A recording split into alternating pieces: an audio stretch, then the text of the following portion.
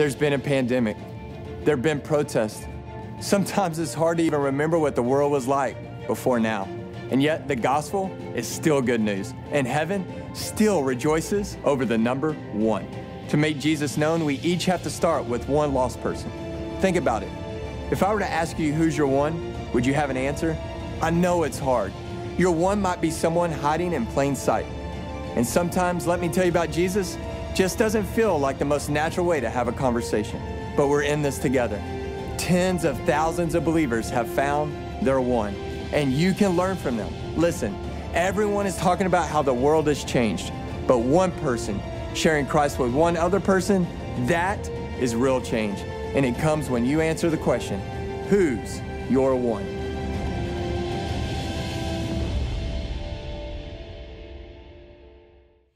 Well, good evening, everybody. I hope that you are doing well uh, and that uh, you and your family are staying safe and that everybody is staying uh, free from this virus and, and pandemic uh, that we're still struggling with.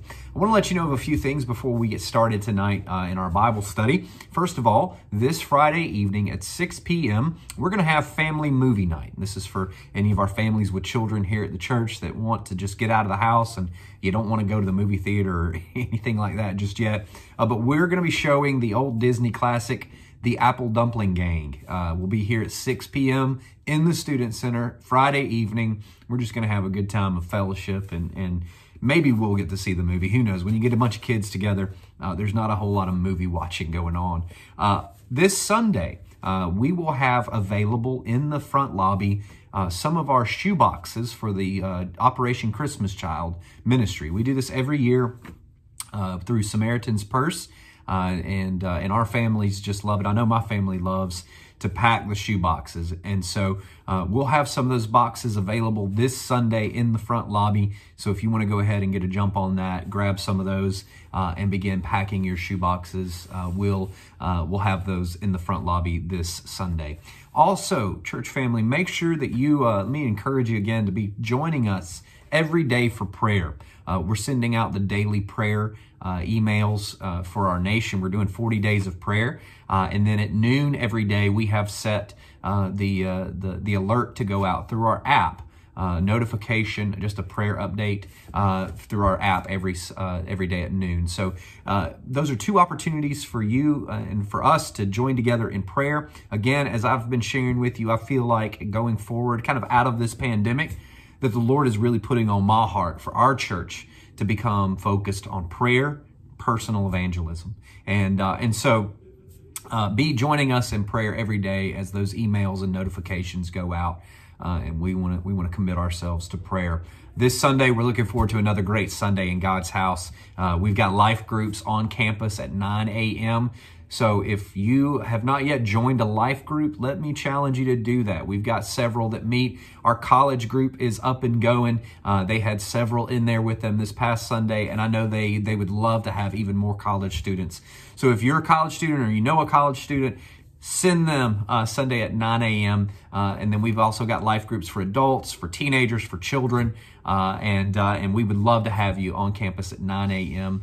Uh, but if you're not comfortable doing that, if you need an off group, uh, off campus group or an online group, you can check out our website taylorroad.org slash life groups and you can find out which one you can be a part of. We want every person that comes to Taylor Road to be involved in a life group because that's where community relationships happen uh, and uh, and where people stick. And so, I want to invite you to that. We're looking forward again to another great Sunday this Sunday as we continue our series, uh, Fishers of Men. We're going to be in Colossians chapter four, and so be praying about that. Who's your one? You know, we've been talking a lot about who's your one. Who is the one person that you need to invite to church this weekend? We've seen a lot of vis- visitors.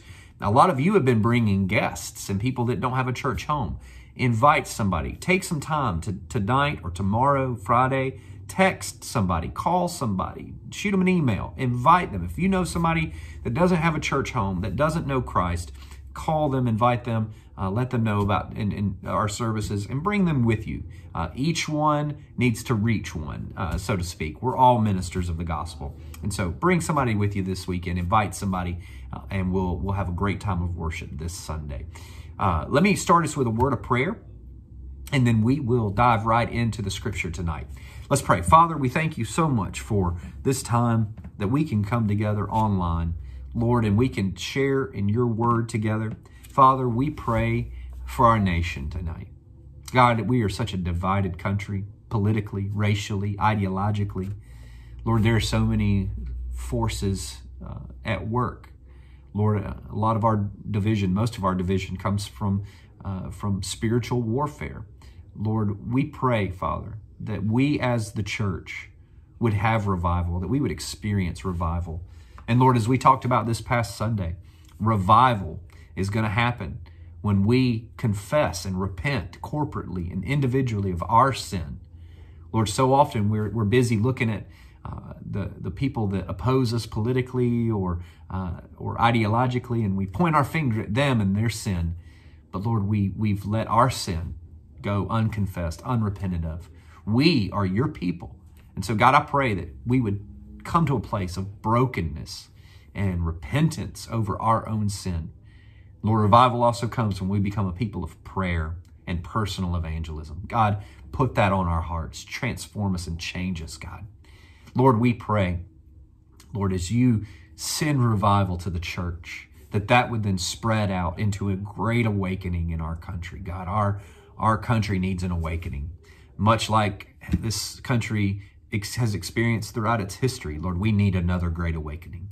Father, I pray, God, that you would just use Taylor Road, use us as individual members of this body to be salt and light in this dark world. God, we pray for the those who are in our church and in our community who are still suffering from this pandemic. God, we pray that you would bring an end to it soon, God. We pray, Father, that you would send a, a vaccine, Lord, that you would uh, just um, give those doctors and scientists knowledge, Father, and wisdom. Lord, that we would see an end to this, Father. Lord, we pray for those in our church family that uh, that that are, are not coming back right now, Father, for whatever reason. Those that can't because of their age and their health issues, let, Lord, let them know we love them and that we still know that they're part of this body. God, we pray for those that may have fallen out of the habit of, of uh, corporate worship, Lord, and the practice of corporate worship. We pray that you would work in their hearts, God, to bring them back uh, into the body. Father, we, we just look for greater days, greater things uh, as we continue following you making fishers of men, Lord, being fishers of men, Lord, as we do everything as a church, as a people, to the glory of God to introduce people to Jesus and teach them to follow him. And so, Lord, we, we commit this time to you. We thank you for this uh, opportunity that we have to come together over technology. And we pray these things in Jesus' name. Amen. Hey, listen, just as a reminder before we jump in here, if you have a prayer request as a part of our church family, let us know. Email us contact our church office. Let us know.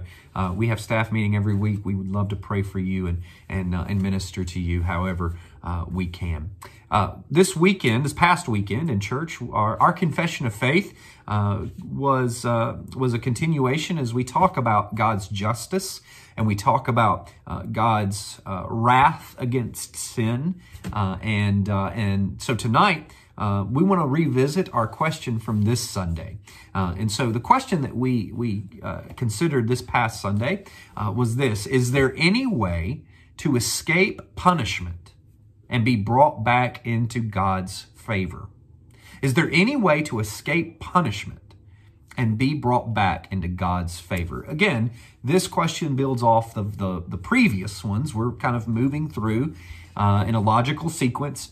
And, and what we what we saw last week is that we are all lawbreakers. We have all broken God's law. We're all guilty. And as we talked about the Ten Commandments, we're all guilty of breaking the Ten Commandments. We're all sinners and rebels against God. We are lawbreakers. And so uh, a breaking of the law requires justice. God is just. The Bible says in the book of Psalms that God's throne is built on a foundation of justice and righteousness.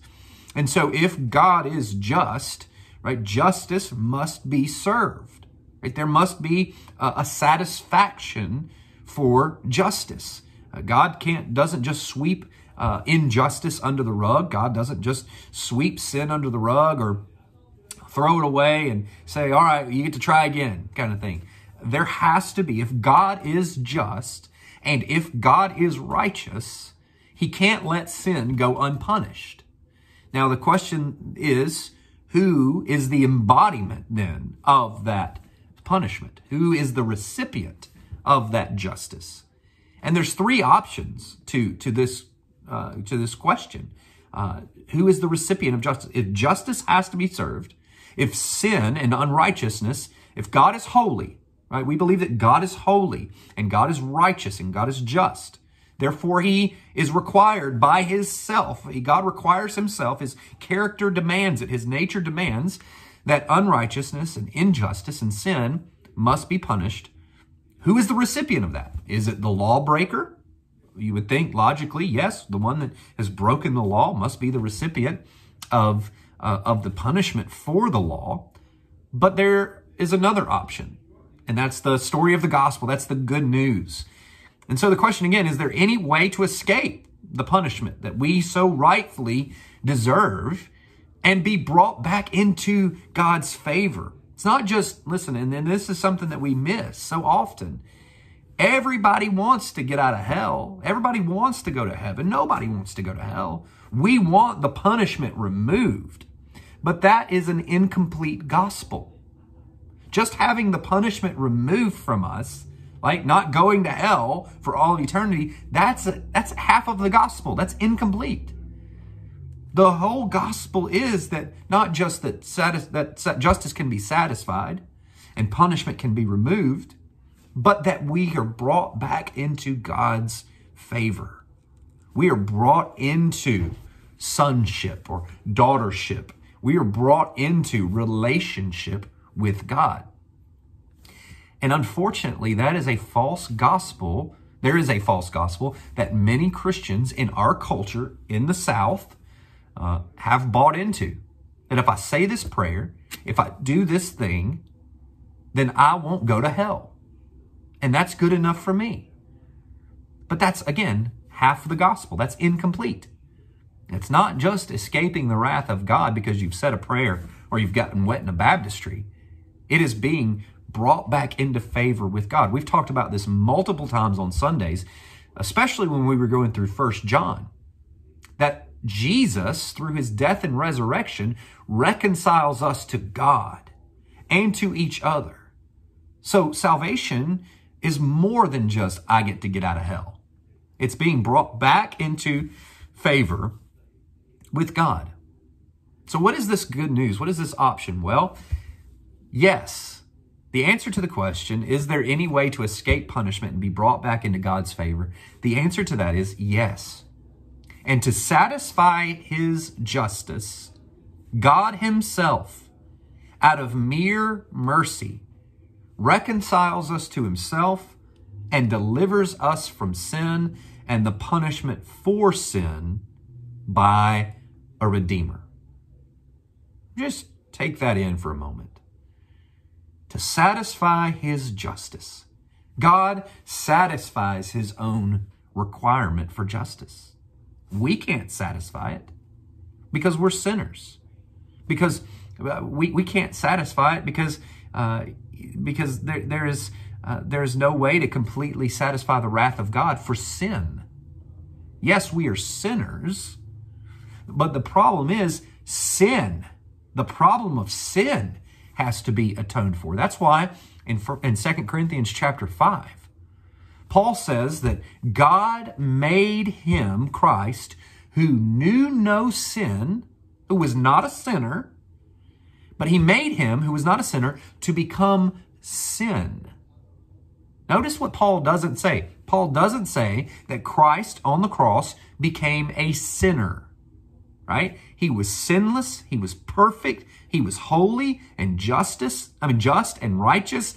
And on the cross, God Himself, in the person of Jesus, didn't become a sinner. That wouldn't have satisfied God's wrath. He became sin. He became sin, the very embodiment of everything that's opposed to God, the very embodiment of rebellion, against God's holiness and glory and justice and righteousness. He became the unrighteousness. He became sin. That's so big. That's so huge. That's why Jesus is the satisfaction of God's justice. Not because he became, he, he was sinless uh, and was not a sinner, right? He became the embodiment of sin. The only way he could do that is because he was sinless. But you and I can't satisfy God's justice because we're sinners. Jesus became everything that God abhors, everything that God's wrath is poured out against. Jesus took upon himself.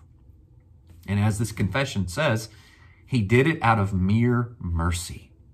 Mercy means that we don't get what we deserve. We deserve God's wrath. But Jesus himself took it upon himself. He delivers us from sin and from the punishment of, from, from our sin or for our sin by a redeemer. God's justice was satisfied on the cross because the perfect, sinless, righteous one became the embodiment of everything God's wrath is stored up against. And God poured out his wrath on his son. Our passage of scripture that we read here um, is out of Isaiah chapter 53. What a beautiful passage of scripture. And I want to read, we, we just focused this past Sunday on verses 10 and 11. But if you have your Bible, I want to I want to read kind of the bigger the bigger scope of this. Verse 3. If you have your Bible again, Isaiah chapter 53. Verse 3. Listen to what the, the, this is the gospel. This is the good news for sinners like us. He, this is the Messiah. Again, this is this is hundreds of years before Jesus even came onto the scene. Okay? This is hundreds of years before Christ came to this earth. Okay? Listen to what Isaiah writes. He was despised and rejected by men, a man of suffering who knew what sickness was. He was like someone people turned away from. He was despised and we didn't value him. Verse 4. Yet he himself bore our sickness and he carried our pains. But we in turn regarded him as stricken, struck down by God and afflicted. But he was pierced because of our rebellion, crushed because of our iniquities. Punishment for our peace was on him, and we are healed by his wounds. We all went astray like sheep. We all have turned to our own way and the Lord has punished him for the iniquity of us all. He was oppressed and afflicted, yet he did not open his mouth like a lamb led to the slaughter, and like a sheep silent before her shearers. He did not open his mouth. He was taken away because of oppression and judgment. And who considered his fate? For he was cut off from the land of the living. He was struck because of my people's rebellion. He was assigned a grave with the wicked, but he was with a rich man at his death, because he had done no violence and had not spoken deceitfully. Yet the Lord was pleased to crush him severely. When you make him a guilt offering, he will see his seed, he will prolong his days, and by his hand the Lord's pleasure will be accomplished. After his anguish, he will see light and be satisfied. By his knowledge, my righteous servant will justify many, and he will carry their iniquities. Therefore, I will give him the many as a portion, and he will receive the mightiest spoil, because he willingly submitted to death and was counted among the rebels. Yet he bore the sin of many and interceded for the rebels. This passage perfectly describes what many theologians have always called uh, the, the great exchange. This is the substitutionary atonement. This is such rich theology, such rich doctrine. The substitutionary atonement. There was a substitute in our place, one who could pay the price, one who could satisfy the wrath and justice of God and atonement. That word atonement means the purging of sin, the cleansing of sin, the removal of guilt. And so a substitute, the only substitute who could satisfy the justice of God, the sinless, spotless, perfect, holy Son of God, was our substitute. He took our place. And he gave us atonement. He removed our guilt. He removed our sin from us by his blood. And one of the beautiful things about this passage in Isaiah 53, if you read this, it's interesting because this passage of scripture was written again centuries, hundreds of years before Jesus came to this earth. Before the Son of God, the eternal Son of God, took on bodily form in the person of Jesus, this passage was written hundreds of years before that. But if you paid attention, if you read this, it's interesting because this was all written in the past tense, right? He was despised, right? He, he knew what sickness was. He was like someone. He himself, he bore, right? He carried. He was pierced. He was crushed. All of this is past tense, and it's past tense speaking of something that hasn't happened yet. Now, isn't this interesting? This is beautiful. This is great. Because what it tells us is that God has always had a plan. God always had a plan to redeem us from sin. This wasn't something that Adam and Eve ate of the fruit, disobeyed God, and God began to scratch his head going, what do we do now? How do we fix this? In fact, the book of Revelation calls the Lamb of God, Jesus, the Lamb that was slain before the foundation of the world. In eternity past, God had declared it. God had decreed it. He knew that we were going to sin. He knew the mess that we would be in. He knew the brokenness of this world. And in eternity past, God declared his son, the, the son of God, to be the substitutionary atoner, the atonement. I may have just made up a word atoner, but you see what I'm saying here. That in eternity past, God had declared Jesus as our substitute as the satisfaction for the wrath and justice that we deserved for our sin. This is a passage that not only speaks of his death, but also of his resurrection. Verse 12, actually 11, uh, by his knowledge, look at verse 11, my righteous servant will justify. That's justification. By knowing him, they will be justified. What a beautiful passage. I will give him the many as a portion. We are the bride of Christ. Because of his resurrection, our justification is sealed, right?